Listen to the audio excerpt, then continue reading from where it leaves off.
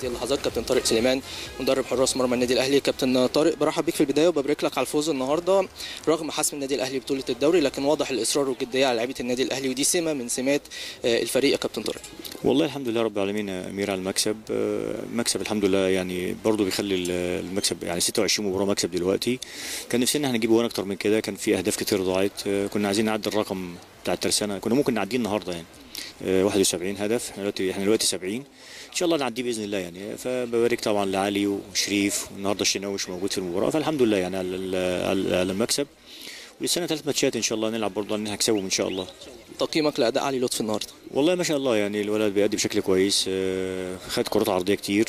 ما شاء الله يعني. كل الحاجات اللي جات له اتعامل معاها كويس باستثناء بس كان في واحدة كده عدته في الشوط ال- في الشوط الثاني انما مجمل المباراة ما شاء الله هايل يعني. آه، هادي. آه، قراراته كلها كويسة حتى الحاجات ال- الإرسالات بتاعته كلها كويسة الحمد لله. مجمل المباراة في واحدة كمان في الشوط الأول اللي عامل بند قدامه ديت تتعامل معاها بشكل كويس قوي.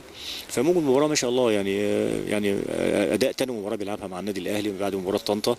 فأداء برضه في ثقة وفي هدوء آه، أداء متميز الحمد لله يعني. فأتمنى إن شاء الله برضه الفترة اللي جاية يكمل مع الشناوي ومع شريف إن شاء الله. عقب عودة شريف من الإصابة كتير توقع؟ آه، إن شريف هيشارك في المباريات خصوصا بعد إصابة حارس مرمى نادي الزمالك أحمد الشناوي. فبالتالي هيكون في فرص لشريف إكرام إن يكون متواجد في كأس العالم ودي بتبقى أكيد حاجة مهمة لكل لعيب.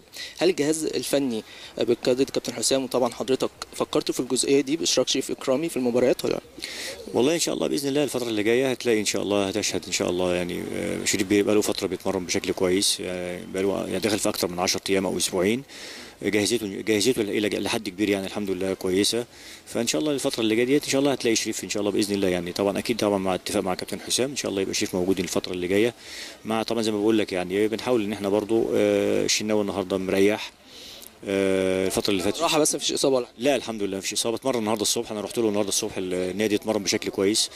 مع طبعا الأجوان اللي موجودة. وزي ما بقول لك يعني في النهاية منافسة بينهم الثلاثه ودايما يعني المنافسة دي أكيد بتطلع أداء كويس الحمد لله. يعني الشناوي بيأدي بشكل كويس علي بيأدي بشكل شرف شريف لما يلعب إن شاء الله يأدي بشكل كويس بإذن الله إن شاء الله. ما تبقى من مباريات في بطولة الدوري وأيضا كمان في بطولة كأس مصر التفكير بالنسبة لكم كجهاز فني في المباريات دي إيه؟ بطولة الدوري خلاص حسمت بطولة كأس مصر أكيد في تركيز فيها والأكثر أهمية هي بطولة أفريقيا.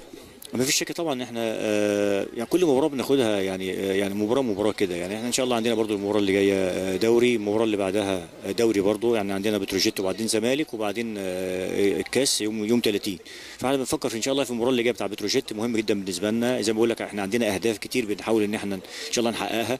واللاعيبه عارفة الكلام ده كويس والكابتن حسام طبعا بيقول الكلام ده للعيبة. أهداف كتير بنحاول إن إحنا إن شاء الله ربنا يكرمنا نكسب المباراة اللي جاية. نبقى إحنا كده كسرنا الرقم اللي هو متسجل 26 مكسب في في في في, في موسم واحد. إحنا دلوقتي 26 فإن شاء الله عايزين نعدي بقى كمان إن شاء الله نكمل ال ال يبقى 27 إن شاء الله. فمركزين في اللي جاي إن شاء الله. يعني زي ما بقول لك يعني عندنا بطولتين آه، غير بطولة الدوري بطولة الكاس وبطولة أفريقيا فمركزين فيهم إن شاء الله. شكرا كابتن بالتوفيق إن شاء الله؟